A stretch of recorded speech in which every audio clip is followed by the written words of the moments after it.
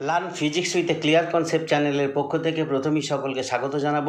আজকে আমরা আলোচনা করব তাপ গতিবিদ্যার দ্বিতীয় সূত্র সেকেন্ড ল অফ থার্মোডাইনামিক্স তাহলে আজকের আলোচ্য বিষয়বস্তু, তাপ গতিবিদ্যার দ্বিতীয় সূত্র সেকেন্ড ল অফ থার্মোডাইনামিক্স আলোক শক্তি, যান্ত্রিক শক্তি, শব্দ শক্তি ইত্যাদি শক্তিগুলিকে সহজেই তাপ শক্তিতে রূপান্তরিত করা যায়, এটা আমরা জানি। আলোক শক্তি যান্ত্রিক শক্তি এবং শব্দ শক্তি থেকে আমরা সহজেই তাপ শক্তি পেতে পারি। কিন্তু তাপ শক্তিকে কার্যে পরিণত করতে হলে যন্ত্রের সাহায্য নিতে হয়। অর্থাৎ আমরা যদি তাপ শক্তিকে কার্যে পরিণত করতে চাই, তাহলে আমাদেরকে অবশ্যই যন্ত্রের সাহায্য নিতে হবে এবং তা সত্ত্বেও তাপ শক্তিকে সম্পূর্ণভাবে কার্যে রূপান্তরিত করা যায় না।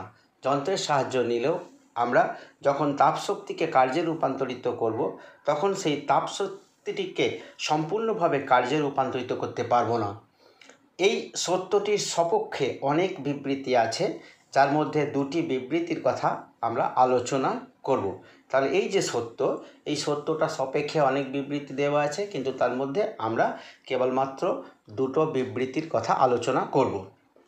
প্রথমে আলোচনা করব কেলভিন প্লাঙ্কের বিবৃতি, কেলভিন প্লাঙ্ক স্টেটমেন্ট। প্রথমে আমরা দেখে নিই, কেলভিন প্লাঙ্কের বিবৃতি কি? What is Kelvin Planck statement? এমন কোনো ইঞ্জিন তৈরি করা সম্ভব নয় যা পূর্ণ আবর্তনে অন্য কোনো পরিবর্তন ছাড়াই কোনো তাপীয় উৎস থেকে তাপ গ্রহণ করে তার পুরোটাই কার্যে রূপান্তরিত করবে। এমন কোনো ইঞ্জিন তৈরি হওয়া সম্ভব নয়, যা পূর্ণ আবর্তনে অন্য কোনো পরিবর্তন ছাড়াই কোনো তাপীয় উৎস থেকে তাপ গ্রহণ করে তার পুরোটাই কার্যে রূপান্তরিত করবে। যেহেতু কোনো তাপ উৎস থেকে গৃহীত তাপকে কোনো তাপীয় ইঞ্জিন সম্পূর্ণভাবে কার্যে রূপান্তরিত করতে পারে না, তাই তাপীয় ইঞ্জিনের কর্মদক্ষতা এক অপেক্ষা কম হয়। তাপীয় ইঞ্জিন কার্য করার সময় উৎস থেকে গৃহীত তাপ শক্তির কিছু অংশ শীতল বস্তুতে বর্জন করে। অর্থাৎ, এক্ষেত্রে শীতল বস্তুর উপস্থিতি ছাড়া কোনো তাপীয় ইঞ্জিনের পক্ষে কার্য করা সম্ভব নয়। তাহলে তাপীয় ইঞ্জিন যখন কাজ করে, তখন উৎস থেকে যে তাপ শক্তি সে গ্রহণ করে, তার কিছুটা অংশ শীতল বস্তুতে বর্জন করে, বাকি অংশ কার্যে রূপান্তরিত করে। অর্থাৎ, এক্ষেত্রে শীতল বস্তুর উপস্থিতি ছাড়া কোনো তাপীয় ইঞ্জিনের পক্ষে কার্য করা সম্ভব নয়।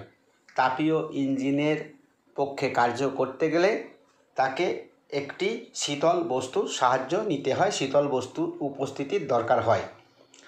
এরপরে আসব ক্লসিয়াসের বিবৃতি, ক্লসিয়াস স্টেটমেন্ট। দেখা যাক ক্লসিয়াসের বিবৃতি কী। বাইরে থেকে কাজ না করলে কোনো যন্ত্রের পক্ষেই শীতল বস্তু থেকে উষ্ণ বস্তুতে তাপশক্তি স্থানান্তর সম্ভব নয়। তাহলে বাইরে থেকে আমরা যদি কার্য না করি, তাহলে কোনো যন্ত্রের পক্ষেই শীতল বস্তু থেকে উষ্ণ বস্তুতে তাপশক্তি স্থানান্তর সম্ভব নয়। আমরা জানি তাপশক্তি উষ্ণ বস্তু থেকে শীতল বস্তুতে স্থানান্তরিত হয়। কিন্তু আমরা যদি বিপরীতক্রমে শীতল বস্তু থেকে উষ্ণ বস্তুতে তাপশক্তি স্থানান্তর করতে চাই তাহলে আমাকে বাইরে থেকে কাজ করতে হবে। বাইরে থেকে কাজ না করলে কোনো যন্ত্রের পক্ষেই শীতল বস্তু থেকে উষ্ণ বস্তুতে তাপশক্তি স্থানান্তর সম্ভব নয়। এর অর্থ, তাপ নিজে নিজে কোনো শীতল বস্তু থেকে উষ্ণ বস্তুতে প্রবাহিত হতে পারে না। অর্থাৎ, তাপ নিজে নিজে কখনোই শীতল বস্তু থেকে উষ্ণ বস্তুতে প্রবাহিত হতে পারবে না। এই বিবৃতিটি রেফ্রিজারেটরে এবং তাপীয় পাম্প ইত্যাদির ক্ষেত্রে প্রযোজ্য। অর্থাৎ আমরা যদি বাইরে থেকে কাজ না করি, তাহলে কোনো যন্ত্রের পক্ষেই শীতল বস্তু থেকে উষ্ণ বস্তুতে তাপশক্তির স্থানান্তর সম্ভব হবে না।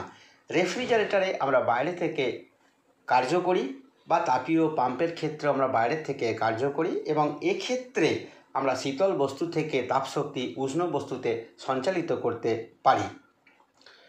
কেলভিন প্লাঙ্ক এবং ক্লসিয়াসের বিবৃতির তুল্যতা। আমরা দুটো বিবৃতির কথা বললাম। একটি কেলভিন প্লাঙ্ক বিবৃতি এবং দ্বিতীয়টি ক্লসিয়াসের বিবৃতি। এখন আমরা দেখে নেব আসলে কেলভিন প্লাঙ্ক এবং ক্লসিয়াসের যে বিবৃতি আমরা পড়লাম এই দুটি বিবৃতি হচ্ছে সমতুল্য। কেলভিন প্লাঙ্কের বিবৃতি থেকে পাওয়া যায়, কোনো বস্তুকে তার পারিপার্শ্বের উষ্ণতা অপেক্ষা শীতল করে ছেড়ে দিলে অবিচ্ছিন্ন কার্যে যোগান পাওয়া সম্ভব নয়।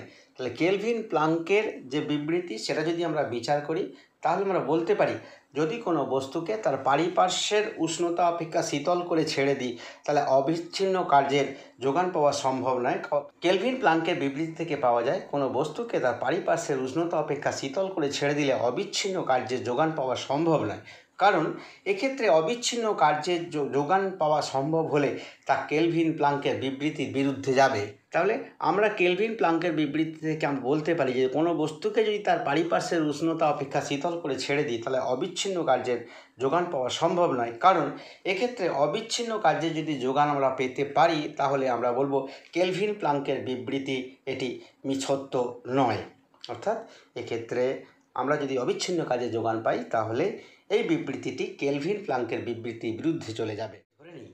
এবার আমরা যদি কেলভিন প্লাঙ্কের বিবৃতির বিরুদ্ধে গিয়ে ধরে নিই, কোনো বস্তুকে তার পারিপার্শ্বের উষ্ণতা অপেক্ষা শীতল করে ছেড়ে দিলে অবিচ্ছিন্ন কার্যের যোগান পাওয়া সম্ভব। তাহলে আগে আমরা ধরেছিলাম যে অবিচ্ছিন্ন কার্যের যোগান পাওয়া সম্ভব নয়, কারণ এতে করে কেলভিন প্লাঙ্কের বিবৃতির বিরুদ্ধে যাবে। কিন্তু আমরা যদি কেলভিন প্লাঙ্কের বিবৃতির বিরুদ্ধে গিয়ে বলি কোনো বস্তুকে তার পারিপার্শ্বের উষ্ণতা অপেক্ষা শীতল করে ছেড়ে দিলে অবিচ্ছিন্ন কার্যের যোগান পাওয়া সম্ভব। এটা আমরা ধরে নিলাম। তাহলে যে কার্য উৎপন্ন হবে, সেই কার্য দিয়ে একটি মোটরকে যদি আমরা চালিয়ে বিদ্যুৎ উৎপাদন করি সেই কার্যকে কাজে লাগিয়ে একটি মোটরকে চালিত করে বিদ্যুৎ যদি উৎপন্ন করি, তারপর সেই বিদ্যুৎটি যদি কোনো পরিবাহী তারের মধ্যে প্রবাহিত হতে দিই, তাহলে প্রবাহিত হবার সময় সেই পরিবাহীতে তাপ উৎপন্ন হবে। কিন্তু এক্ষেত্রে আমরা বাইরে থেকে কোনো কার্য না করি, তাপ উৎপন্ন করতে পারছি। অর্থাৎ এক্ষেত্রে আমরা বলছি ঘটনাটি ক্লাসিয়াসের বিবৃতির বিপক্ষে যাচ্ছে। অর্থাৎ আমরা যদি কেলভিন প্লাঙ্কের বিবৃতিকে ভুল বলে ধরে নিই তাহলে ক্লসিয়াসের বিবৃতির বিপক্ষে আমরা একটা তথ্য পাচ্ছি। এখান থেকে বলা যেতে পারে দুটি বিবৃতি সমতুল্য। এদের কোনো একটির বিরুদ্ধে গেলে অপরটির কোনো মান্যতা থাকে না। তাহলে যে দুটো বিবৃতি বললাম, কেলভিন প্লাঙ্ক এবং ক্লাসিয়াসের বিবৃতি, এই দুটো বিবৃতি আসলে সমতুল্য। এদের কোনো একটির বিরুদ্ধে গেলে অপরটির কোনো মান্যতা থাকে না, সেটা আমরা উপরে দেখলাম।